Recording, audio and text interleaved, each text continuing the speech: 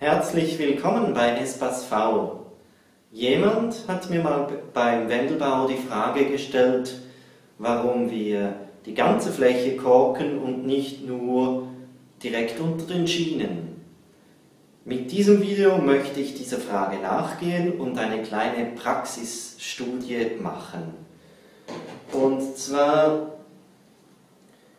gibt es ja im Prinzip drei Möglichkeiten zu korken.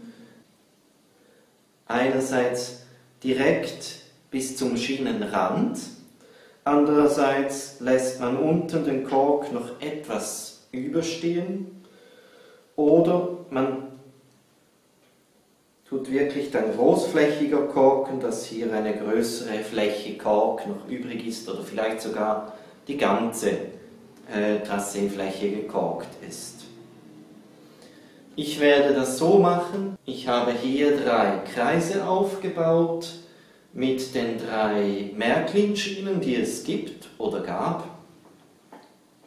Der Vollständigkeit halber nehme ich auch das Metallgleis dazu.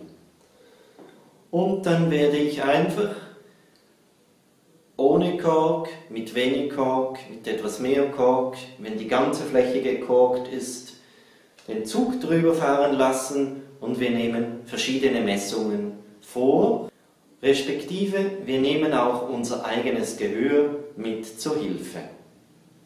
Lass uns loslegen.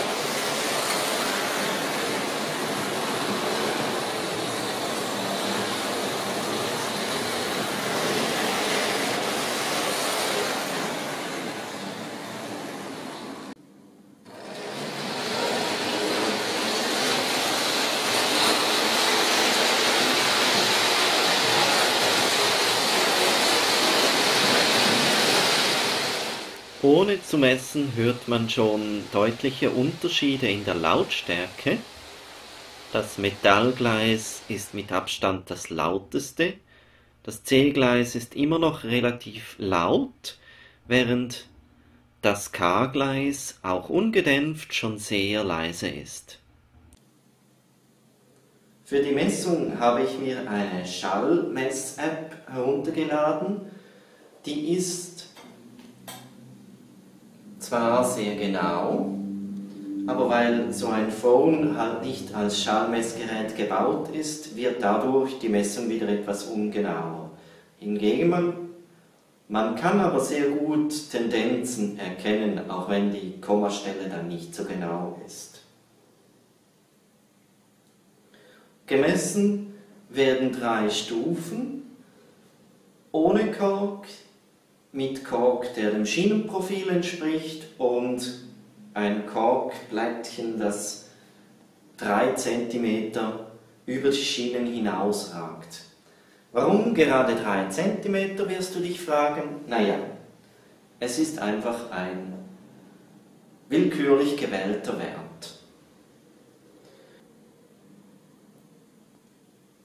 Ich habe auch eine Messung mit großflächig ausgelegten Kork vorgenommen. Dazu dann aber auch später noch. Zwei Stufen habe ich gemessen, das eine direkt auf der Platte und das andere etwas oberhalb. Ich habe hier eine Box genommen, die ist aus Kunststoff, einem weichen Kunststoff, der also selber keinen Schall übertragen sollte.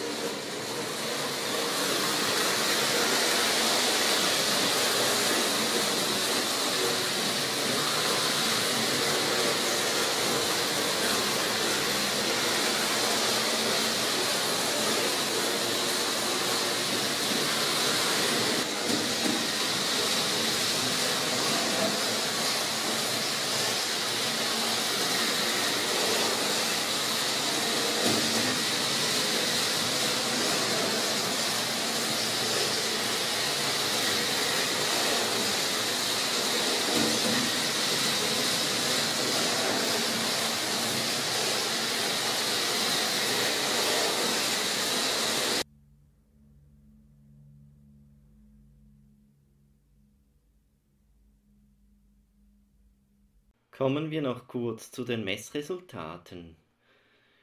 Wenn wir das K-Gleis uns betrachten, dann sieht man sofort, dass beim Korken sowohl direkt auf dem Holz wie auch wenn man etwas darüber misst, eine Reduktion von 5 respektive 3 Dezibel erreicht werden konnte. Der Unterschied, ob der Kork noch etwas überhängend ist, ist sehr klein bzw. nicht existent. Ich denke, die 59 zu 60 Dezibel sind eher eine Messungenauigkeit. Ähnlich verhält sich's beim C-Gleis.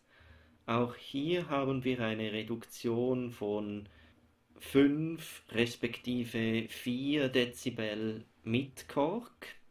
Und ob es jetzt da noch etwas mehr Kork hat, ist mit meinen Geräten nun nicht zu sagen, ob der Unterschied wirklich messbar ist. Und man sieht auch, dass wenn der Kork großflächig ausgelegt ist, gibt es ebenfalls kaum einen Unterschied. Das ist eher Messungenauigkeit.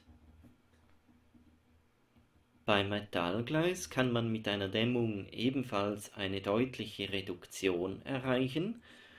Der Unterschied ist aber auch hier nicht wirklich vorhanden, ob er jetzt der Kork überhängend ist oder nicht. Die kleinen Unterschiede in den Zahlen können wahrscheinlich auf die Messunggenauigkeit zurückgeführt werden. Vergleicht man nun die Zahlen untereinander, so sieht man auch hier deutlich, das K-Gleis ist deutlich leiser als das C-Gleis Meiner Messung ist sogar das C-Gleis und das M-Gleis in etwa gleich laut. Welche Schlussfolgerungen können wir nun daraus ziehen? Wir haben uns ja gefragt, bringt das Dämmen was? Und wenn ja, wie groß muss die Korkfläche sein? Ja, das Dämmen bringt was, aber es ist gleichzeitig auch egal, ob es jetzt genau auf die Schiene zugeschnitten ist oder noch überlappend ist. Ich selbst höre beim C-Gleis und beim K-Gleis einen kleinen Unterschied, wenn der Kork etwas über die Schiene hinausgeht. Beim Metallgleis habe ich keinen solchen Unterschied festgestellt. Ich denke, der Effekt ist so gering, dass man ihn vernachlässigen kann. Auch haben wir uns gefragt, ob das Rumpeln der Lokomotive gedämmt wird. Ja, das wird gedämmt. Und zwar ist das vergleichbar mit einer Trittschalldämmung unter einem Fußboden. Auch da verwendet man ja häufig Kork. Und es kommt auch hier nicht darauf an, wie groß die Korkfläche ist. Höchstens die Korkdichte hätte einen Einfluss. Apropos Kork. Ist Kork das beste Material zum Dämmen? Es ist sicherlich gut und günstig, aber ob es auch das Beste ist? Ein Kollege hat dazu eine sehr gute Analyse gemacht. In der Videobeschreibung findet ihr den Link zu seiner Analyse. Ich empfehle sie sehr.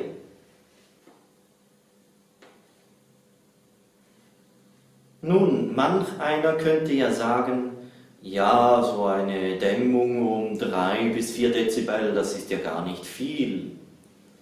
Man muss dazu wissen, dass das Ohr logarithmisch hört. Und wenn hier nur ein Unterschied von 3 oder 4 Dezibel ist, von Kork zu ohne Kork, dann ist das schon relativ viel. Denn eine Abnahme um 6 Dezibel bedeutet eine Reduzierung um die Hälfte der Lautstärke oder andersherum eine Zunahme um 6 Dezibel bedeutet eine Verdoppelung der Lautstärke. Also man erreicht hier doch relativ gute Ergebnisse, auch wenn die Zahlen eigentlich implizieren, dass es nicht so viel ist. Nun, ich werde auf alle Fälle korken ich denke, wenn mehrere Züge unterwegs sind, ist das eine gute Sache und manch einer von euch, wie auch ich, haben ja auch Nachbarn im Haus, dass für diese nicht allzu laut wird. Was ich nicht berücksichtigt habe, das ist der Landschaftsbau. Ich meine, wenn da noch Gras rundherum ist, allfälliger Schotter noch da liegt oder Gipskonstruktionen, das alles hat natürlich auch einen Einfluss auf die Schallausbreitung. Aber ihr seht schon, das ist ein sehr komplexes Thema. Das kann ich hier mit einem kleinen Praxistest nicht abhaken. Es ist ja so, das ist keine wissenschaftliche Analyse, sondern nur ein Praxistest. Dafür waren meine Messgeräte viel zu ungenau. Aber man kann doch sehen, es gibt ein Resultat, es gibt eine Tendenz, man kann auch vergleichen. Wie wir gesehen haben, das Metallgleis ist das lauteste und das K-Gleis das leiseste. Ja, das wäre es für heute.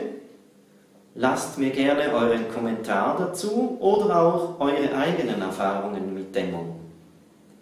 Bis zum nächsten Mal. Eine gute Zeit. Euer Valentin.